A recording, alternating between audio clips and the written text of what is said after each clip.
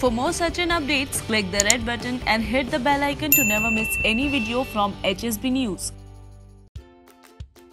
आज भारत बनाम दक्षिण अफ्रीका फोर्थ ओडीआई मैच की शुरुआत हो चुकी है।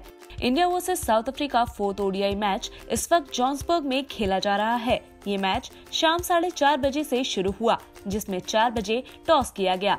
ये टॉस भारतीय टीम ने जीता। आज के मैच में भारतीय कप्तान विराट कोहली ने टॉस जीतकर पहले बल्लेबाजी करने का निर्णय लिया है। India versus South Africa fourth ODI match के लाइव स्कोर्स आप हमारे डिस्क्रिप्शन बॉक्स में भी फॉलो कर सकते हैं। भारतीय टीम ने शुरुआती तीन वनडे जीतकर छह मैचों की सीरीज़ में तीन शून्य से अजय बढ़त हासिल कर ली है। आज के मैच की तमाम अपडेट्स की नोटिफिकेशन पाने के लिए चैनल को सब्सक्राइब कर बेल आइकन को ज़रूर प्रेस करें और बने रहे हमारे साथ एचएसबी न्यूज़ की रिपोर्ट।